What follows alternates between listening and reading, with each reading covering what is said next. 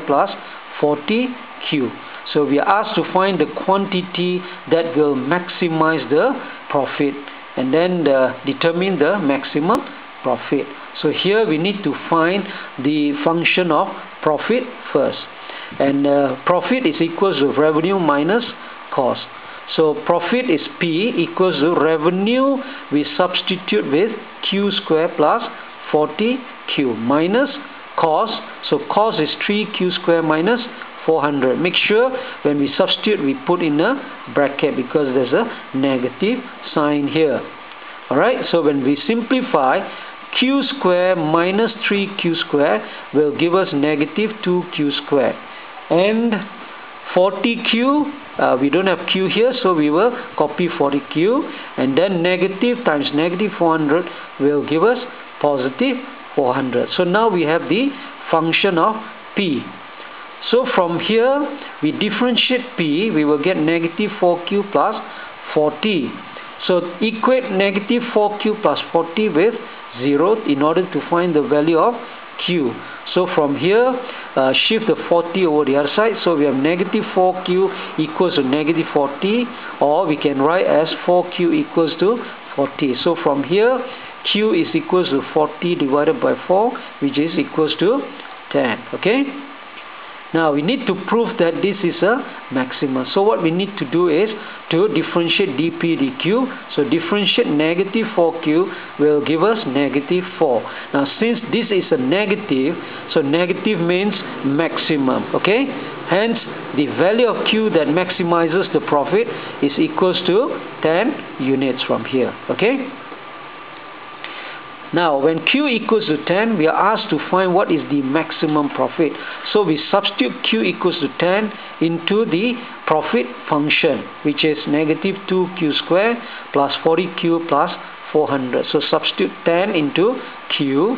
So we will get negative 2, 10 square plus 40, bracket 10 plus 400.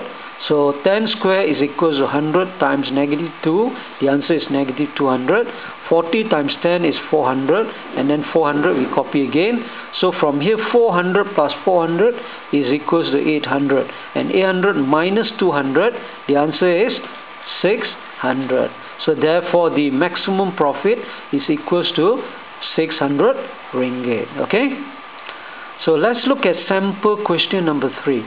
The average cost function of a product is given by C bar. So C bar is uh, denotes the average cost which is 0.0001 q square minus 0.02 q plus 5 plus 5000 over q.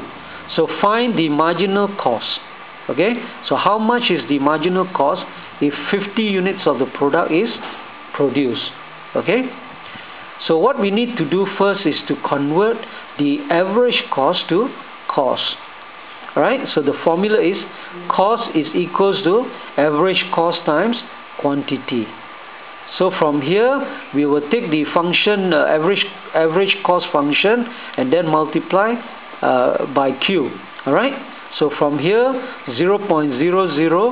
0.0001 q square times q will give us 0.0001 q to the power 3 and then 0.02 q times q will be equals to 0.02 q square and 5 times q will give us 5q and 5000 over q times q we can cancel the q. So remainder 5000 okay so this is the function of cost so we are asked to find the marginal cost so remember marginal cost is equals to dc over dq. So we differentiate the function cost just now, we will get 0.0003 q square minus 0.04 q plus 5. Okay?